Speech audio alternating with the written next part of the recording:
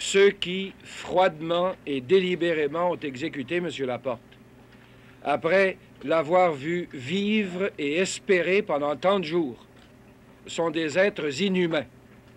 Ils ont importé ici, dans une société qui ne le justifie absolument pas, un fanatisme glacial et des méthodes de chantage à l'assassinat qui sont celles d'une jungle sans issue.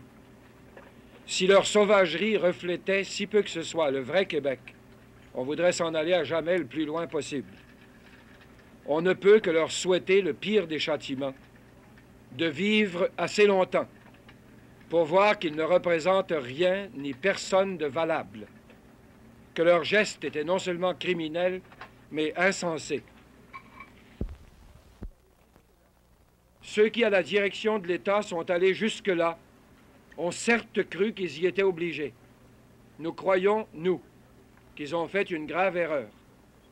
Maintenant qu'ils savent, comme nous tous, ce que cela a coûté, il nous semble qu'ils devraient trouver la force de reconsidérer leur position, en songeant désormais par-dessus tout à sauver celui qui est encore vivant.